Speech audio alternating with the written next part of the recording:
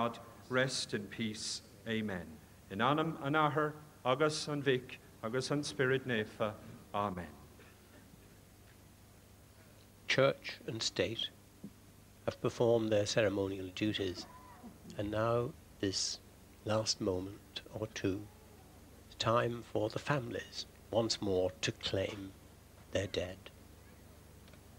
You see members of the bearer party coming, each carrying a wreath, and they be presented in turn to representatives of the families.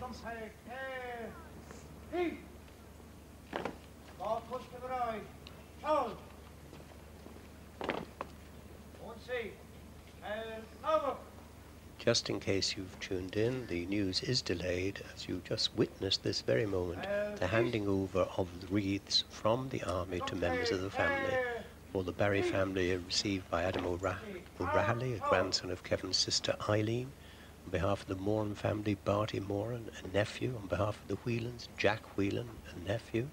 On behalf of the Doyle family, granddaughter Kavina Daniel. And on behalf of the Ryan family, Anya Callahan, a niece and the only blood relative of Bernard. Then for the Bryan family, nephew Jim Phillips, and on behalf of the Flood family, Sean Flood, a nephew.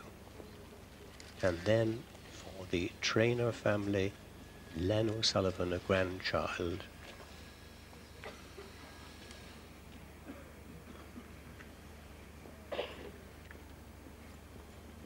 Agus mainter uh, John Quish.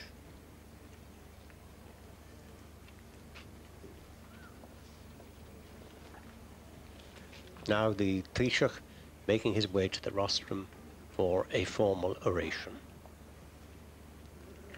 accompanied by his ADC. Uachtarán, muinte na heran. Tá míid bailthe seo nu in nómós don detnúir ólaigh óglaigh a for bás ar an groch. I prisún mun seo, ar son séirse agus ar son na heran. Tá míid ilige láthair chun na daisi déine a chur a gréics sa deire, le hanúir agus le daanaid. Tug mí go léir sa táid faoi cumán ag detnúir far óg seo, Comát le hóglaigh ile na heran an ama sin idir ar agus mná. Í nó ibert a rinne siad a ligand in námid ag mínta na heran agus ní ligfur go jo. An coga go trí siad, hí cooltach a bháin a chu ar a féidir nafsim a dé. Win ó táhaán míí géid a hotaíag. Bhí is a go go raibh na díine lo, le tar an an ultáán sin tháinig an den cédá. Ar fasnééis nafstáis na heran a aonú aá. Dúirt an cean cáile leis na tataí ilig gur thug chola duine acu go joci coga an de tar na fasnéise. Higadar sin. Bhí sé sásta an cathacór chun séir sin na hire a bhaint amach. Bhí sé ráte an an cuachtaí mhóra gur maithe leis na náisiún bheoga an céad cogaí danaide. Bhí mínta na go gahi principal an éoncanáil náisiúnta a latnú có fada na heran. Curtha chun bás na fear óga seo le hen cogiig na séirse. Bhí an tíir go mór an am agus fé ciile gan éontathe. Tá ag mínta na heran, hí dá éirint ag forbit lehí, daón cogiig a bheithesúil. Bhí an déantathes á thuirt a réim sa tír.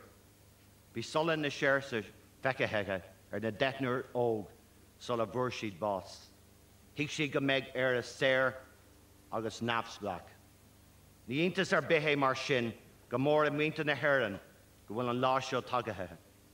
Dá nóing go bhfuil dacratíí a kid ar tréim se féin agin.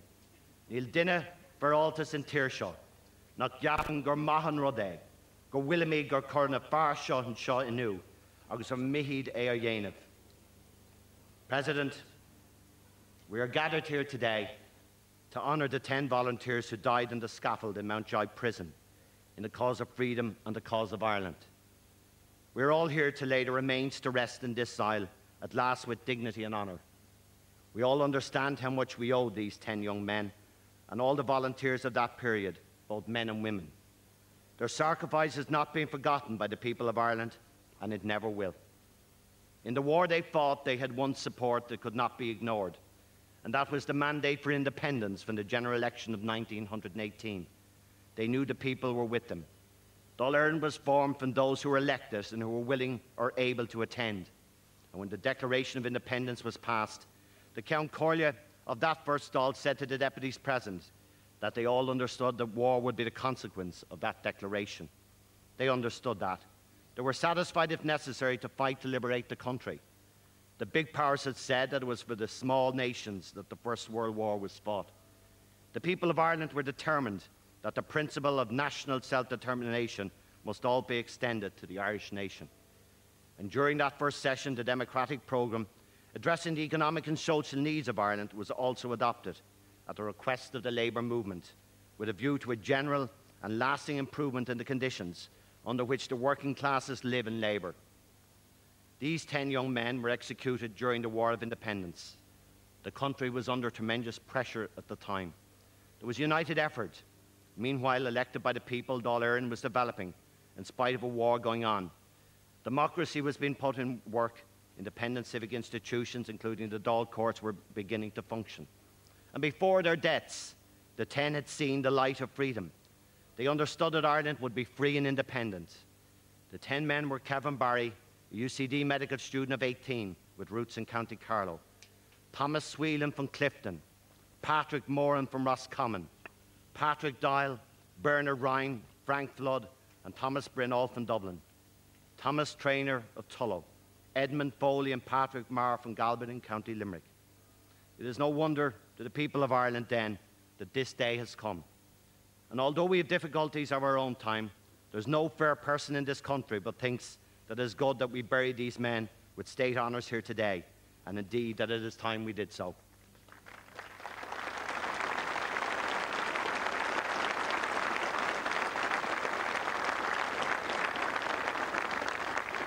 The Irish state today is discharging a debt of honour that stretches back 80 years. Here in Glasnevin stands the memorials of Irish patriots of the past two centuries, statesmen, soldiers, all who contributed in many ways onto the onward march of a nation. Nine of the Irish volunteers executed in Mountjoy in 1920 and 1921 belong here, in accordance with the wishes of their families. Patrick Maher will be interned next week in County Limerick. This is a day that has been sought for many years with the support of successive governments. All of us wish this to be a unifying occasion in accordance with the wishes of the families today who have assented to their reinterment.